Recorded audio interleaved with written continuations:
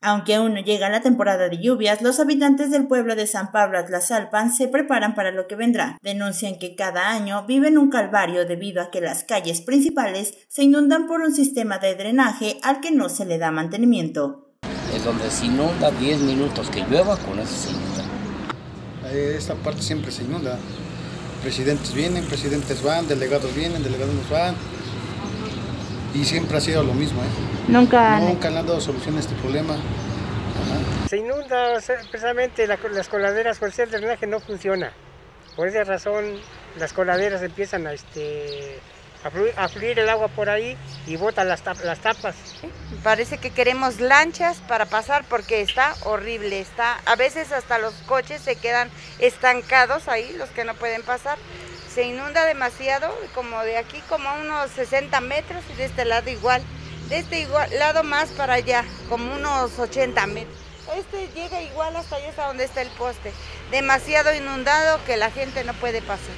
Las inundaciones invaden las casas, por lo que muchos habitantes han optado por bardear sus puertas. Piden a las autoridades de Chalco hacer algo debido a que es un problema de muchos años que les afecta directamente.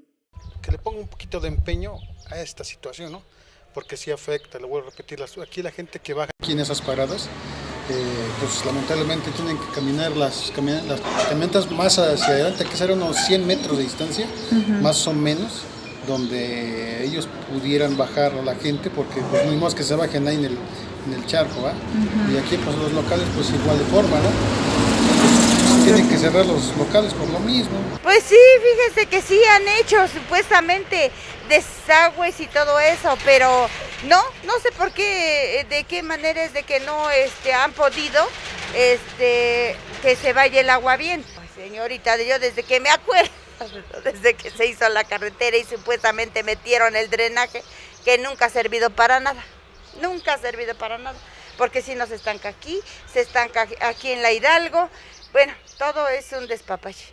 Pues que las autoridades este, hicieran algo por nosotros, porque estamos muy abandonados muy, muy abandonados. Reportó para Canal 6 Cecilia González.